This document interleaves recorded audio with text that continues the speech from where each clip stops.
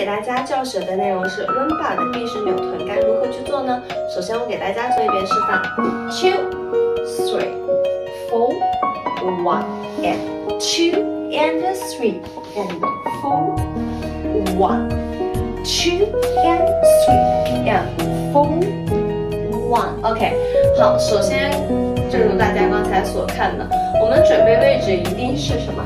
我们身体转向我们的后侧左腿在前，右脚在后。Two three four one two 的时候，我们向我们的右侧去做一个转身撤脚。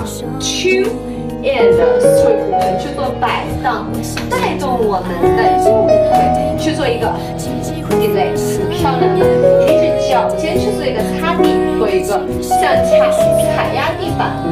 快速带动我们的后腿去做一个收回，再紧接着左脚脚尖去做一个延长，and three 再去上步的时候，我们右手去向上去做一个拉长，然后再向我们的左后方去做一个转身、转身、侧脚延伸。